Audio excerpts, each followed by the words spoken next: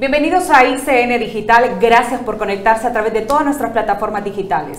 Este día me encuentro acompañada por el abogado y diputado Jorge Cálix, por parte del Partido Libertad y Fundación representando Francisco Morazán. Gracias por atender la invitación de ICN. Un gusto. Gracias, gracias a ustedes, Claudia. Un placer. ¿Cómo inicia su carrera en la política? Bueno, inicia en el Partido Liberal.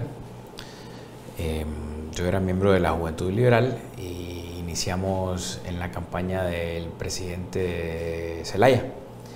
Eh, mi primer voto, de hecho, fue por mi primera experiencia como votante fue en una mesa, defendiendo los votos en las elecciones internas del Partido Liberal, del movimiento Esperanza Liberal, que era el movimiento que postulaba al presidente Zelaya como candidato presidencial.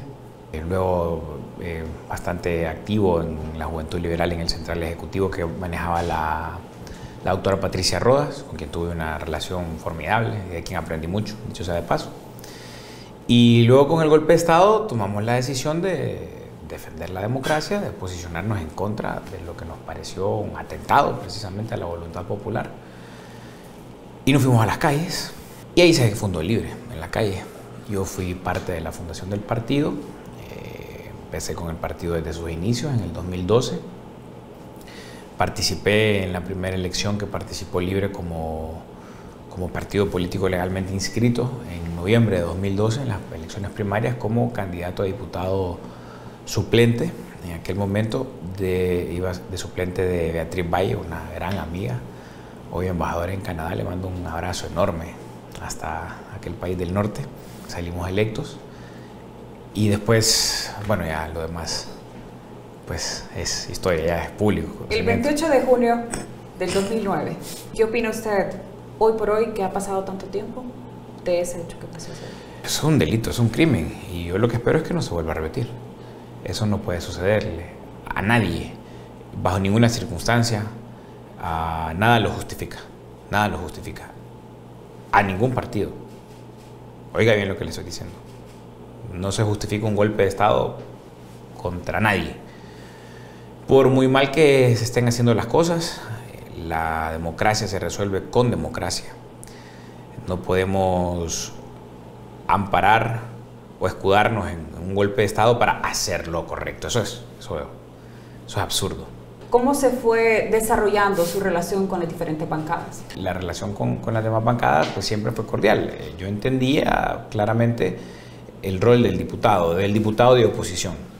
Número uno, que tenía que llegar a, presentar, a hacer propuestas en el Congreso. Número dos, a participar en los debates. Y ahí los diputados, los que somos abogados, los diputados que somos abogados, tenemos una ventaja.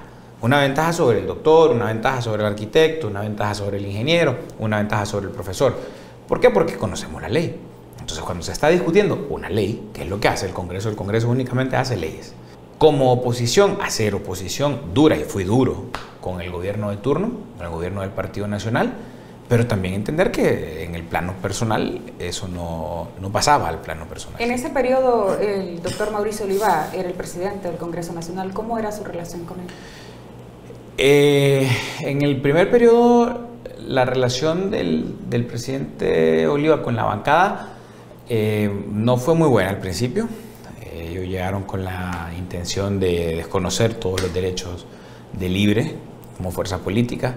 A medida fueron pasando los años y, creo que él fue entendiendo el lugar que nosotros como oposición nos habíamos ganado en las urnas, eh, la relación mejoró y al final del primer periodo logramos construir algunas cosas importantes como la ley de política limpia y eso nos sirvió para ingresar al segundo periodo con una dinámica fluida de construcción de, de, acuerdos políticos de relevancia que a la postre eh, fue los que, fueron los que permitieron que ganáramos las elecciones, como la ley electoral, por ejemplo.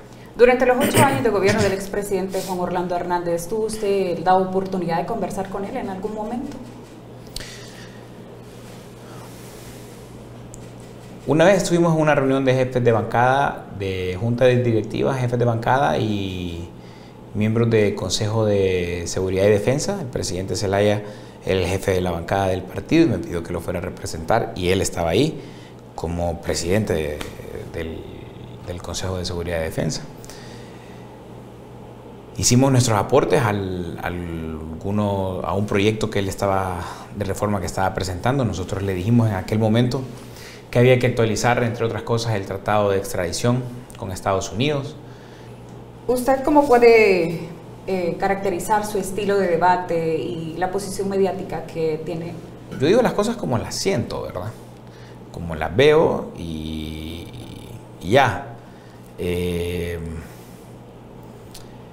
hombre, habrá quien le guste y habrá quien no. Ese es un tema de estilo. Y yo respeto pues todas las opiniones.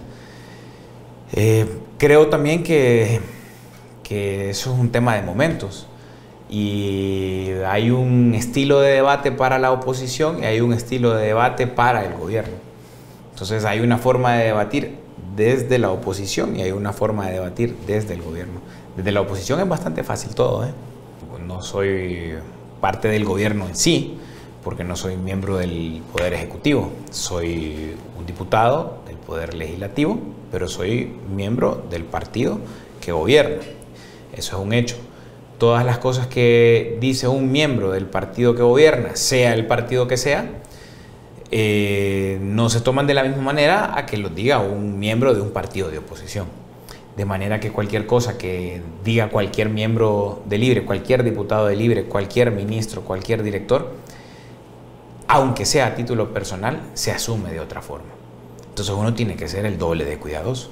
¿Usted podría describirme con sus propias palabras, ¿qué fue lo que pasó en la instalación del actual Congreso Nacional? Bueno, eh,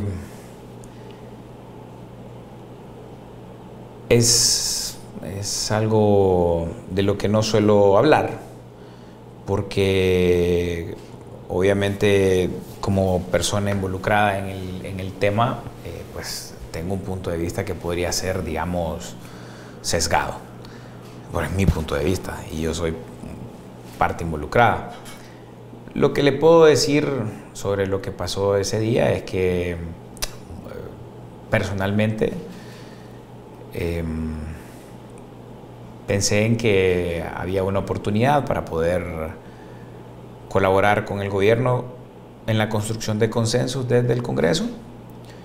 Eh, no pensé que eso fuese a generar un malestar tan grande en, la presidenta eh, o, en el partido, si hubiese pensado que, o hubiese sabido que iba a molestarlos de esa manera, simplemente no hubiera hecho, hecho nada, porque yo más bien pensé que iba a ayudarles a facilitar las cosas, porque eh, pues tengo, gracias a Dios, la, facilidad de, poder ponerme de acuerdo con las personas, entonces pensé en que podía colaborar.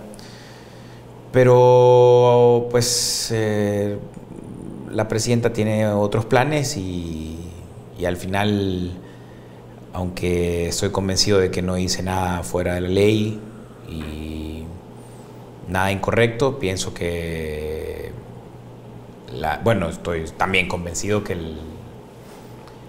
la confianza de la gente estaba en la presidenta en ese momento, no en este servidor. Y que lo mejor era dar un paso al costado para que ella pudiera, para no ser piedra de tropiezo de nadie. No tengo la intención de, ni nunca la tuve, de ser un obstáculo para nadie. Yo he querido más bien colaborar y ayudar y precisamente por eso he estado un poco al margen para no estorbar. Eh, ¿Su expectativa ese día cuando se despertó y una vez finalizado el día con todo lo que se pudo apreciar? Bueno, son dos, eran dos cosas distintas. Cuando me levanté, pues pensé que eh, iba a ser un día diferente, no pensé que iba a ser un día de patadas o algo así, ¿verdad? Pero, pero bueno, las cosas son como son, no como uno quiere que sean. Y para mí ya estuvo, ya es agua que ya pasó, yo ya le di vuelta a esa página y ahora lo que queda es seguir trabajando y ver para adelante. ¿Alguien de Libre le pidió a usted de que ¿Debería ser libre que tuviera la presidencia del Congreso? Quienes apoyaron al diputado por el Partido de Libre Jorge Cálix a su postulación al Congreso Nacional, ¿se arrepiente de esta decisión que tomó? ¿Cuál será la respuesta? No te puedes perder la segunda parte de nuestra entrevista con Jorge Cálix. Acompáñanos en nuestras plataformas digitales como ICN Digital para disfrutar de esta imperdible entrevista.